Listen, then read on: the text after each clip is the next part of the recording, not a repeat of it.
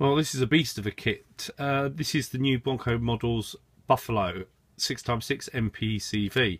Uh, originally released about two years ago in a plain version, which sold extremely well. This version has the slat armour upgrade and also includes a little bonus of the CROWS gun system. Um, this slat armour was available by, by, lots of photo etch manufacturers, but if like me you're scared of photo etch, realistically you need to get this kit. As the original kit has been around for some time, I'm not really going to concentrate that much on the original sprues because not a lot has changed. Uh, but I just will show you these two, some very nice moulding. Uh, this is the main cab floor, the roof of the main compartment, and the wheels, which are very unusual in the way they're moulded, in that you have the treads and sidewalls as separate parts. This enables a very good level of detail, and realistically, resin replacements aren't that necessary for this model. This is the etched brass fret, some of the clear parts and the decal sheet. The decal sheet is far, far smaller than uh, the previous Buffalo release. Uh, I'm sure some of the original marking options would actually be applicable to this kit as well. Um, biggest weakness I would say on this kit is the decals and their instructions. The decals are very, very good quality, but the instructions don't really show where most of them go. In particular, there is one here which is for a learner driver training vehicle, and I can't see where those parts are, those decals are actually meant to be applied on the model.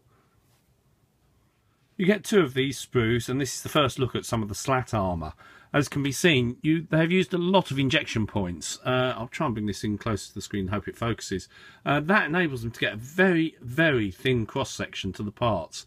Uh, it will look very, very realistic and be a lot easier to construct than the original.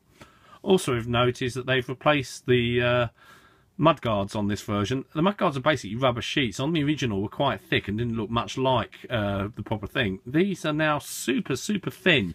Uh, they really do look very, very nice. Uh, I think removing these parts from the sprue, you're going to need a really good set of sharp sprue cutters to be able to do this successfully.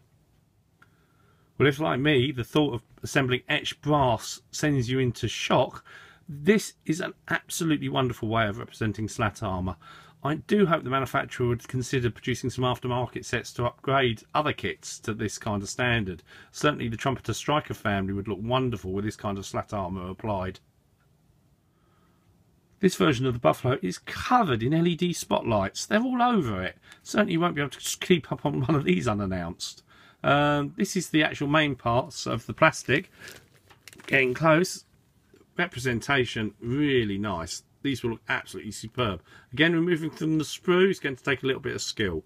Uh, so I say, really good quality sprue cutters are a necessity. This is an amazing piece of casting of the machine gun. Uh, I don't know if the gun it will pick it out, but that is actually pre-drilled all the way through. Beautiful use of slide mold technology. Well, that's it. That's my quick look at Bronco's new Buffalo kit.